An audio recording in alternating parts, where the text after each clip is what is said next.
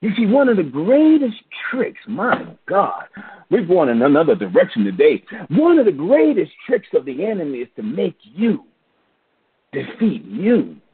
Love is love. Love is love. Adios.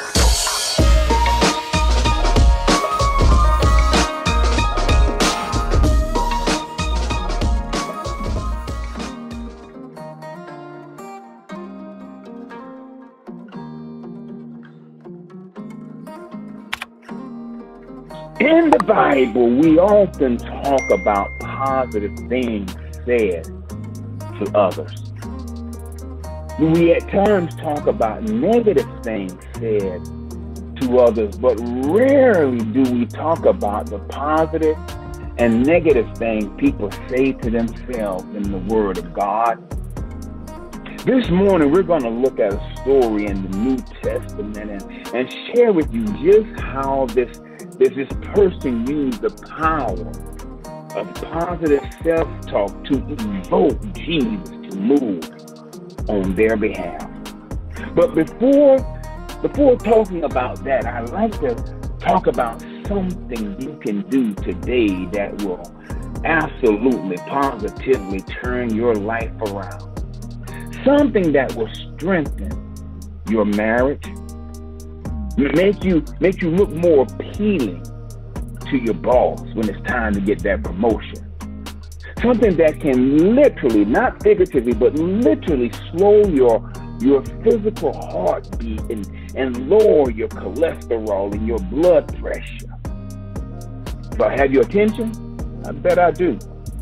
You see, the reason I'm starting this way this morning is because I'm speaking to you and as I'm speaking to you, there is some some some, some background noise that is that is interfering with what you're hearing me say this morning. No, it's not on my end. It's, it's, it's in your mind. You see, you got up this morning, maybe had your cup of coffee, possibly grabbed a Danish or something to eat for breakfast, and, and then you got on the call. And, and now that you're on the call, what is happening? Background noise background noise. You see, as I'm sharing with you, you're already thinking about the deal.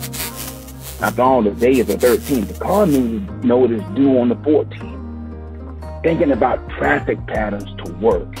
You're thinking about the clothes you're wearing or what you're gonna wear.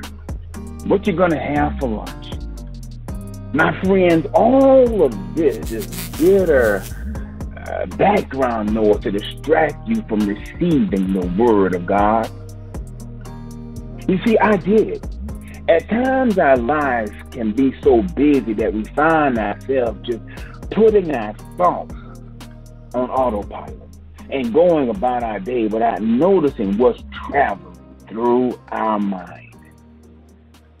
But if you could just learn how to how to manipulate your mind Notice I didn't say control because controlling the mind will take some time. But but if today you could simply discover how to manipulate your mind, you will start to find freedom and peace from things that have been that have been that have been blocking your blessings for years. If you could learn to to manipulate your thoughts, you will recognize damaging words trying to infiltrate your subconscious and, and stop them from taking root like a bitter weed in your life. If you could just discover how to manipulate your mind, you will understand the power of patience. Not not patience with the kids, not not with your spouse or your friend, you you would understand how important it is to be to be to be patient with you. When you do not hit the mark, when you fall short, when you make mistakes in your life. So let me jump flat foot into this. The first step you must do to, uh, to understand negative self talk is to simply tune in and start paying attention to your thoughts. You see, if I if I open this call this morning by cursing you, I'm sure 99% of you, and most likely 100% of you, would never call in again. And I wouldn't blame you. It's offensive to have someone curse you. We don't stand for it, right? Well, if it's so offensive, then why in the world do you curse you?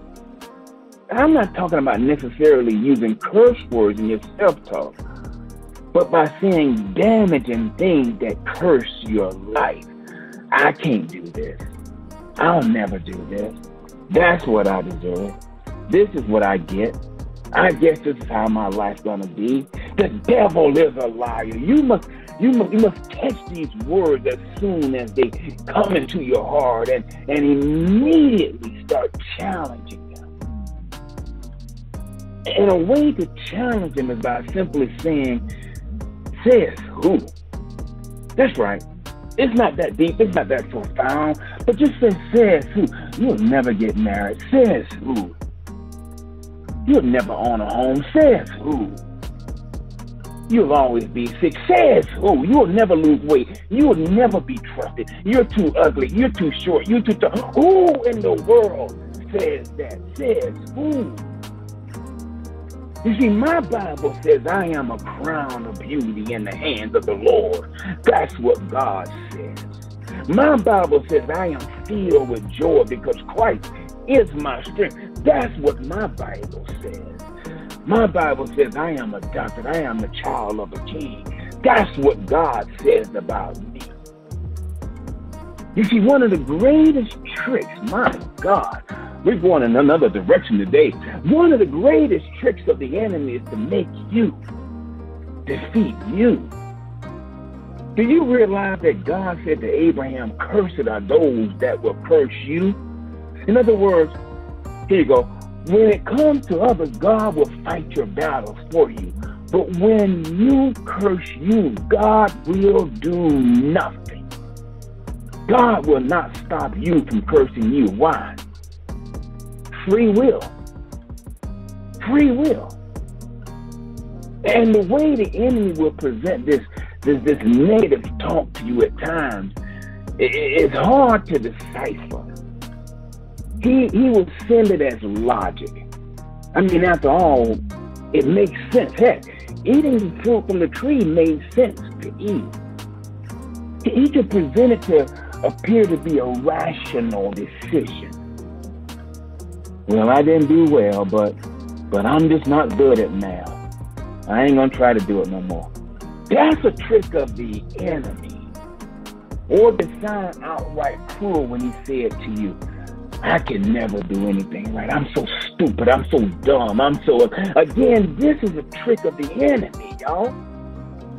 Oh, get this. Mm, thank you, Holy Ghost. He can make it, make you make a declaration that comes from your soul against your life. I knew they were to fire me. He could make you lose before you ever begin. But God has sent me here this morning with a Holy Ghost assignment for one reason. Thank you, God. For one reason, thank you, Holy Ghost. For one reason and one reason only to encourage you, to encourage yourself. Come here, David. Sometimes you've got to encourage yourself, to encourage you to, to monitor that crap that's going on between your ears and remind you that God is. I'm going to stop right there. God is. That God is. That God is. In the gospel, we see this particular woman. Thank you, Holy Ghost. This particular woman who had been sick for 12 years. She had been sick for 12 years, y'all. Now, now, now, now, can you imagine how others perceived her? What she must have looked like bleeding for 12 years in that hot climate, bleeding day in and day out, 12 years nonstop. You see, there was no easy cure for what ailed this woman. Have you ever been in a situation where there seems to be no easy solution for what you were dealing with? This is what this woman was facing. In fact, she tried, y'all. The Bible tells us she spent everything. She spent her savings. She spent her retirement. She cashed in her 401k. She cashed in her IRA. The kids' college money was gone. Everything she had was spent on doctors. And get this, she was getting worse. My God. But as I shared with you last night, last week, sometimes God will allow you to give everything you got just so you can clearly understand that He is everything you need. My God, if I say nothing else to you this morning, I've said all you need to hear. Sometimes God will allow you to give everything you got just so you can clearly understand He's everything you need. I don't know if she would have gotten healed if she had money. Don't know if she would have even tried to get close to Jesus if she was in good health. We don't know the answer to those questions, but what we do know to be true is this right here, right here. That there is a mob of people standing around the King of Kings and the Lord of Lords. And as this mob grew, this woman comes up behind him. And as she reached for him, she rebukes doubt. She rebukes fear. She rebukes anything in her mind that was blocking her from being made whole by saying, If I might just touch the hem of his garment. That's self talk, y'all. And I believe that was her mantra. If I might just touch the hem of his garment. If I might just touch the hem of his garment. For I believe when she got out of bed that morning, possibly soaked with blood, she was singing, If I might just touch the hem of his garment. As she saw the people gather around Jesus in the distance, she was saying, If I might just touch the hem of his garment. And as she decided to break the rules of conventional thought, she was saying, If I might just touch the hem of his garment. And then she touched him, and everything changes. Again, everything changes. For Jesus, the Son of God, stops and says, Who touched me? Believe, believers, believe this to be true.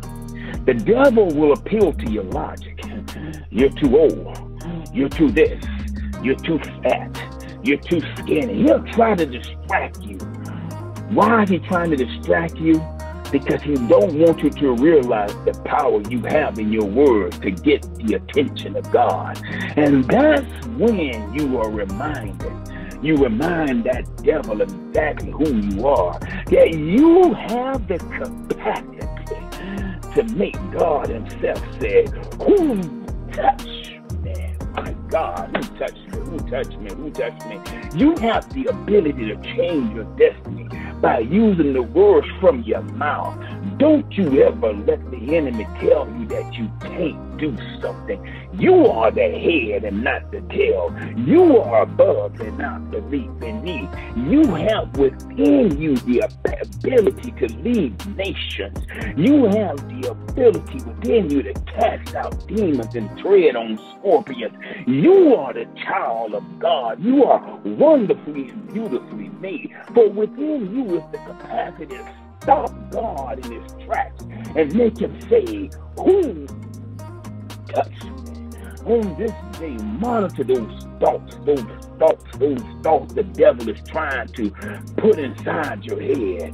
And just continue to say to yourself, if I might just touch the hem of his garment, if I might just touch the hem of his garment, if I might just touch the hem of his garment.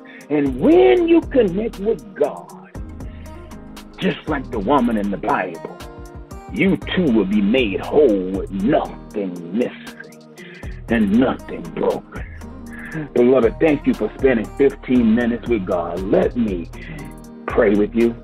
Heavenly Father, we thank you for your word. We thank you for coming through one more time and revealing yourself to your children.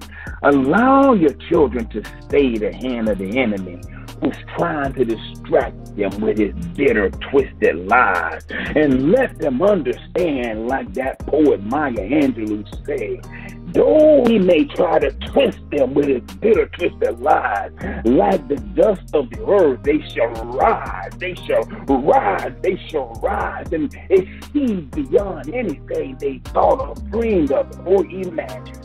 And when they do, let them give you the praise. let them give you the glory. And let them give you, dear God, the adoration that only you deserve. For you are our God. You are our King. And you are our Redeemer. In your Son, Jesus' matchless name we pray. Amen. Amen. And amen. Hey, thank you so very much for watching. Now that you have, click the tab below for another inspiring video from First Day Christian Center and spend 15 minutes with God. Be blessed. Bye-bye.